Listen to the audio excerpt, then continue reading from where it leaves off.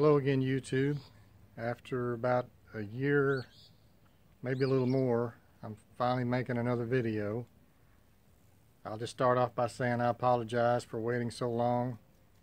I said I was going to make a video on our solar hot water system and here it is now September and summer is almost over and finally getting around to doing it. So uh, there's been some other things happen around here this summer kind of show you the place. We've put in a chicken coop and a vineyard and a garden and so it's been a busy summer. I actually uh, retired at the beginning of the summer so uh, every day now is like Saturday so it's pretty nice. So back to the solar hot water system. You can see the uh, panels on the roof there. Okay, so I ordered those, I ordered the complete solar hot water heater system from a company, I believe it was maybe called Solar Hot Heaters.com or something like that. But I'll find it and put a link in the description. And uh, I may even show you the copy of the invoice.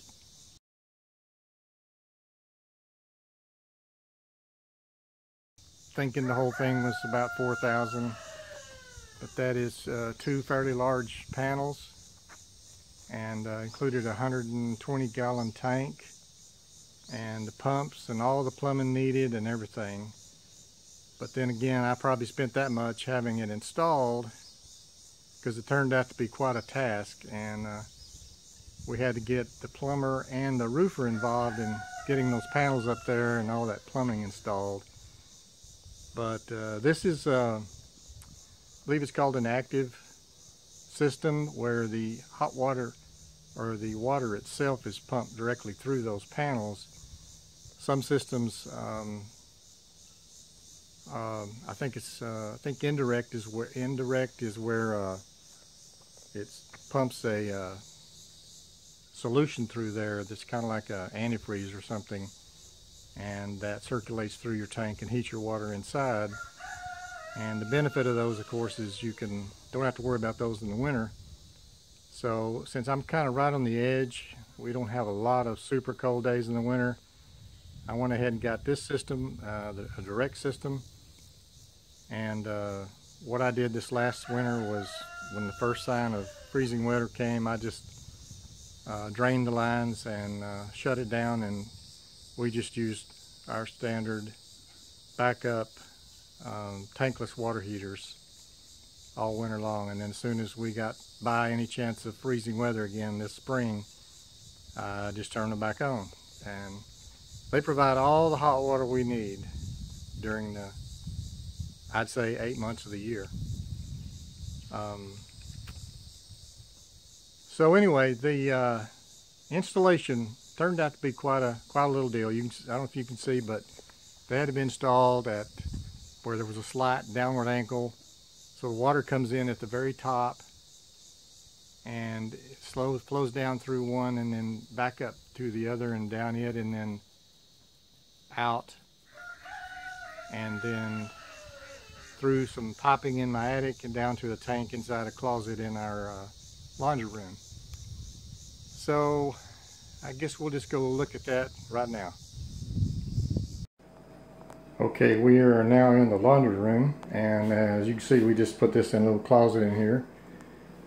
And uh, we originally thought about putting this in the garage, and just thought it would just take up way too much space. And so this was going to be a coat closet opening out to the hallway. And we just changed the design at the last minute and made this uh, door on the inside here, and uh, this became our hot water tank closet.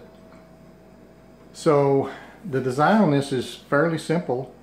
I know it looks looks a little uh, complicated, but basically all it amounts to is your uh, water source comes in right back here and flows into your tank just like a standard hot water tank.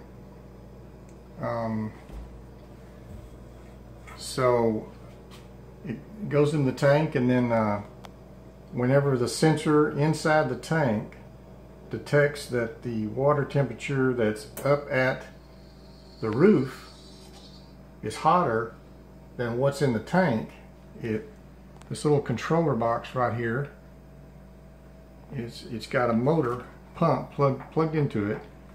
I mean, so it's fairly simple. It's all it's doing is checking temperatures constantly. And when that temperature difference happens, it kicks on this little pump right here. And at the same time, it opens up, well, that's a little mess. It opens up this uh, motorized valve. So um, it allows the water to come back down. So when the pump shuts off, that valve also closes. So basically it's just constantly replenishing the hot water that's in that tank. And once it's gotten to, I've got a setting on here of 170 degrees. So once this tank gets to 170, this pump won't kick on anymore.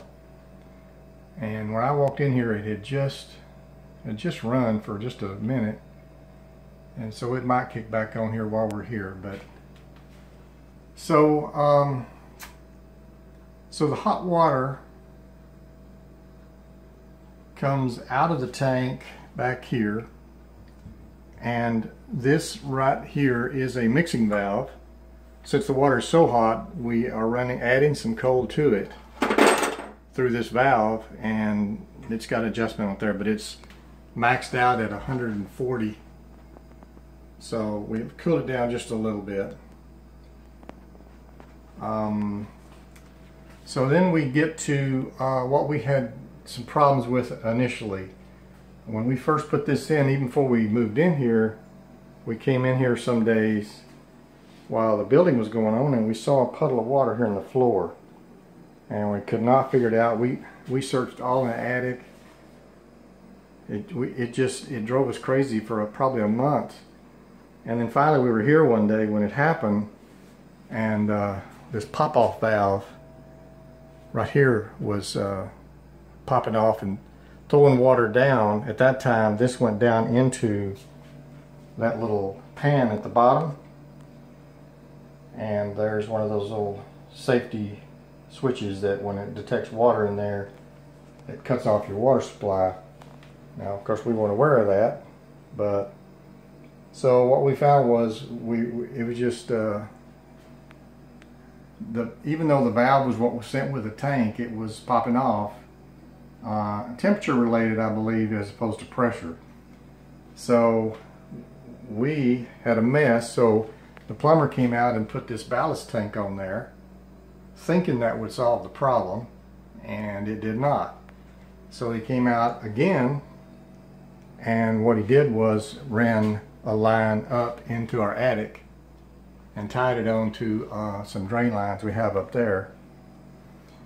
So now when it kicks off, it just takes the water and sends it up and goes outside the back of the house. So this uh, this past winter, as we went into winter, I realized I had to figure out a way to drain them. Well, he had uh, he had put drain lines here, so I didn't want to have to run hoses outside of the house. So I just tied on hoses to his lines, to his valves, and then tied them on right here to the bottom of his drain. And now I've got them set where I can turn these on, or open these valves, and uh, open those valves right there, and cut the pump off, and it will drain, drain those lines completely. At least it gets all the water inside the house where it's temperature controlled and out of the panels where it can't freeze. And that worked well. We went through the winter without any problems. Came back in here at the beginning of summer and just did the reverse. close those two valves up there, closed these two valves here, plugged in the pump, and started working. So, looks like it's not going to kick on while we're here. It's uh, believe it or not, it's September 18th and it's right about noon. It's already 90 degrees with about a 55% humidity. Uh, it is a hot day. We are we are having an extended summer. Alright, so I'm going to go show you one more thing about the system and uh, we'll wrap it up. Okay, now I'm going to give you a little bit of demonstration about uh, how this system ties into our backup. Uh, we have a tankless water heater that's uh, just for the bathrooms and it's outside the house. And then we have a second one that's near the kitchen that it just heats water for the kitchen. Now, they're only needed when we don't have enough hot water from the solar system. So I'm going to show you what happens. I've got this one set on 120 degrees, and this is the tankless heater control. So I can go over here and turn on the hot water in the shower, and you'll see this uh, priority light came on. And that red light tells you that it's the uh, tankless heater is now working, so it's sending 120 degree water to the shower and it's such a long run that it still takes a couple minutes to get here. But what you're going to see happen here in just a second is that uh, the water from the tankless, from the solar water tank, just now it arrived, that turned off that heater. See those lights went off and it's this P1 tells you that it has it is no longer the priority heater and that the water going through it's hotter than it could heat it so it just shut itself off. So we once again we have all the water we need. We can do laundry, we can do dishwashing, we can both take showers. It's not a problem. We have all the water we need. So okay, back outside now and uh, just wrapping up this video. Um, I do want to say that I have two more two more videos on my mind that I want to do. One pertains to a uh, pretty big problem we had with our solar electric system back in June. And uh, I don't know if you noticed from previous videos, but that generator sitting there is a is a new one. It's now a Kohler where I had a Generac before. But caused some major problems and I will make a video about it.